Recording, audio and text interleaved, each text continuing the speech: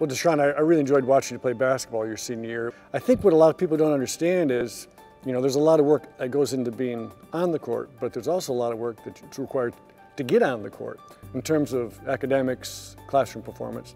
So tell me a little bit about your experience at Indy Met. Well, when I came to Indy Met as a freshman, they took me in with open arms, and like it became a family to me. Like it was more than a school, like cause they like it was they guided me along the way.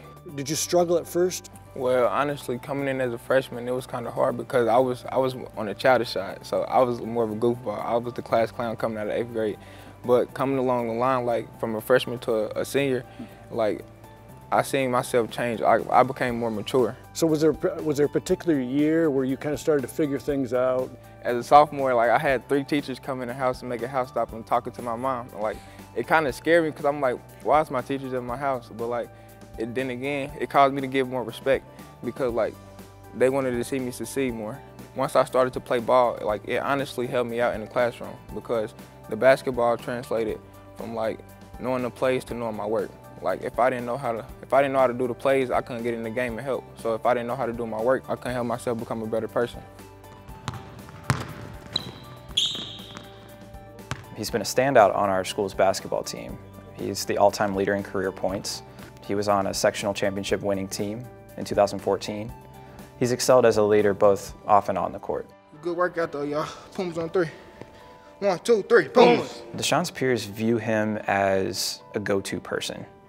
Uh, they, they see De'Shan as the leader in the classroom. They look to him to see what he is doing, how he's responding to questions, if he's engaged in the material. All the things that we've covered thus far in terms of literary devices, those things will be included on your assessment. In regards to basketball, they look at him for guidance on the court. He's always that person that has the focus on him, and he's taken that focus and always done positive things with it, and I think that's what's really impressive about him.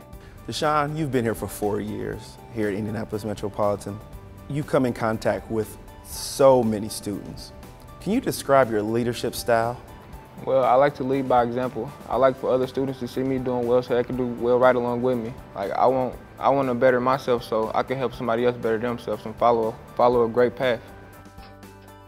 Who was your favorite teacher and your, what was your favorite subject? Well, my favorite teacher was Miss Marianne White because she teaches math. Like I'm very good at algebra. Because you're good and strong in math, you could probably calculate your points per game, your rebounds per game, and all that good stuff, right? Yeah, like it, it became easy.